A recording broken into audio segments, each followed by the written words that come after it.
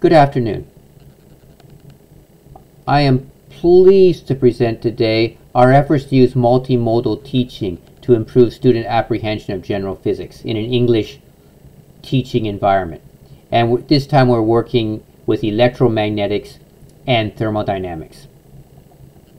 Um, the people involved in this work have been Charity Grace White. She's located at McMaster University Department of Physics.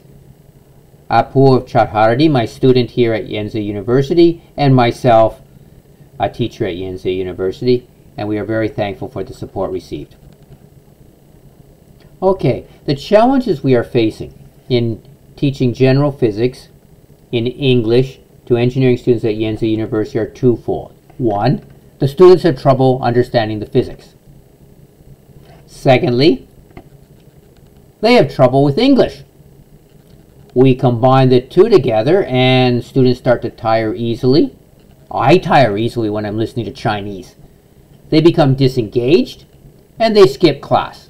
So I really can't, if I'm in a lecture-based course, I can't really blame the students. It's very hard. So how can we overcome this? That's what our target is to try to do. Our goal is that students will feel the physical meaning of equations, not just memorize formulas that they apply, but they will feel these equations and feel that what they mean. Um, we hope that they'll also understand physics is experiment driven. Not we write a bunch of equations and then apply them. No, we do experiment first, then we then we learn these equations to summarize the experimental results. We want the students to remain engaged in class and not just turn off with their cell phones or not attend. And finally, we hope that they will start to enjoy physics and, in the meantime, have their English improved. These are our goals. So how are we going to try to do this? First, our algorithm is as follows. We start each unit with a pretest. This is an electronic pretest. To, so that students can get an assessment of what they know and what they do not know. We then continue on using a guided discovery, making use of PHET simulations. In other words, students are guided through answering questions, and hopefully discovering the equations we'll be learning about in that section of the course.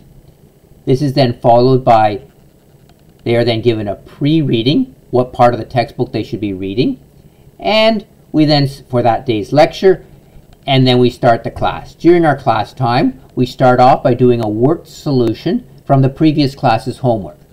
You know, step by step, making sure students understand step by step.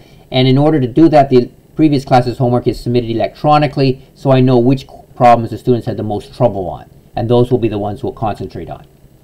We then follow up with a smartphone game, which sort of tests whether they actually did the pre-reading.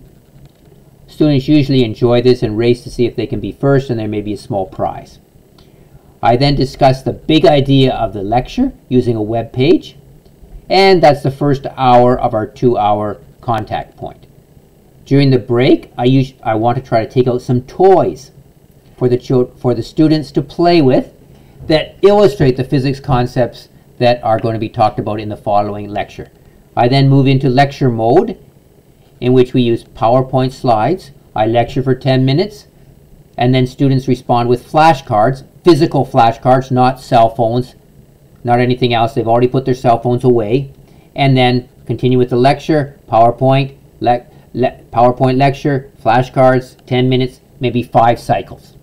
After that, the class ends, students are assigned some homework to do problem solving, and we repeat this cycle for four times approximately, and then we have a post-test um, in which is both electronic and paper.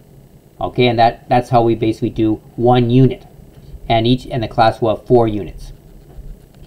Okay, so let's consider, I want to focus on the guided discovery because that's been our main emphasis and time spent developing.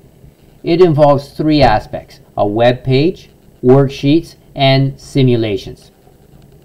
Considering first the web page, the web page basically introduces the students to what the activity. It tells how they're going to do it. It gives them a link to be able to download the worksheet It also gives them links to all the PHET simulations that they will be playing with during that class. At the end of the class, each group hands in one set of worksheets or guided worksheets. So that's the web page. The worksheet looks something like this. They have questions. Okay, for example, they start by observing how the simulation works. Like reset the simulation, show charges the wall and only one balloon. Rub the balloon on the wall, what happens? Describe it. Rub it on the sweater, what happens? Describe it. What happens when the balloon touches the wall? Um, write down and try to think about why. Release the balloon midway between the wall and the sweater. What's going to happen? Why do you think it happens? Okay, and as you finish those observations, you can then make some interpretations about the experiment. And what can we interpret and what conclusions can we make given this information? So the idea is to try to help the students to think. So, and then here's the PHE simulation. So for example, here we have the slider showing its charges, charge balance, charge balance. Okay, so we start the simulation. Okay, we rub on the sweater. Rub, rub, rub, rub, rub, rub, rub.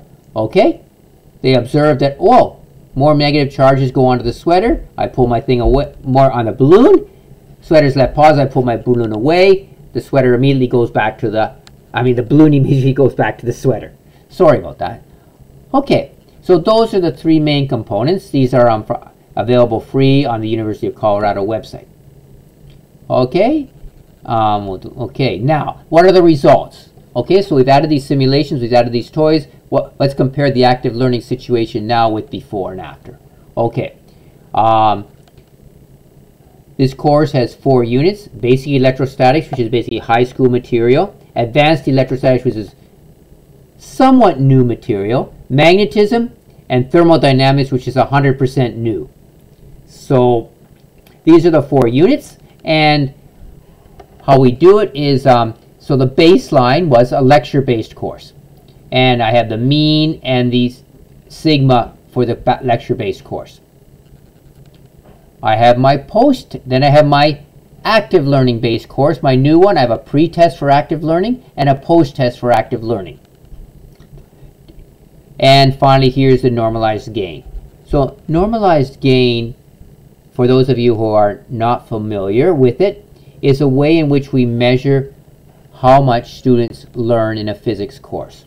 It's common, it's been used in most published physics papers um, in, in the area of physics education. So it's basically described as basically the post percentage of the students minus their pre-percentage over the maximum final mark, which would be 100, minus their coming in mark. And then the G factor tells you how much they actually improved. Now for there is a lot and lot of statistics on this, but for lecture-based courses, generally, independent of teacher, the normalized gain for is approximately 0.2.